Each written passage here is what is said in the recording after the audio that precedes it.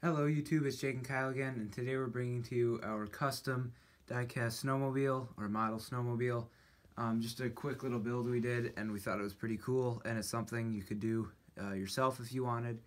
So we took our Polaris diecast snowmobile, and what we did is we extended the track by taking a little metal piece and some paper clips and just super gluing it there. And then the track we stretched out with some Lego uh, wheels. We just spaced them really far apart and just kept stretching the track out. So it's really long now and it still does spin as well as the other one does. And then, so we had to kind of take the whole track apart. So as you can see, this one has this little, uh, like all this stuff at the end here. What we did is we cut that off. Then you cut where the track, or where this um, flap is supposed to be and then you put it there. And what we did here is we glued on some plastic and we just painted it black and glued it. And um, to make the longer extension of the chassis looks pretty cool. And uh, nothing else in the front but just the track.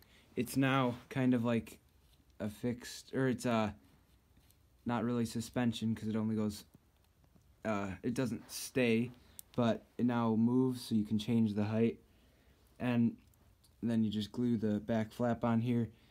And uh, so that's what we wanted to show you. If you wanted to build it um, just leave some comments in the uh, comment section below if you wanted to have it or if you had any questions. We'll be, we'll be glad to ask those. And uh, just thank you for watching our videos. And this summer we hope to do some videos on our hoverboard we got. We got a good quality hoverboard as well as uh, our cousin got the Razor dirt bike. So if anybody has been wanting to see a comparison between the Razor, the MotoTec, and the Rosso dirt bike, um, hopefully that'll be pretty good. It'll be up north, so we'll try and get as good footage as we can with the full battery, and uh, we'll see whose is the best dirt bike out of the three of, uh, of ours. And uh, we're sorry we didn't get any remote control snowmobile videos out this winter. We actually didn't drive them once at all, and we were just working on uh, sledding in our yard. We built this hill, but so thank you for watching this video, and please like and subscribe to our channel.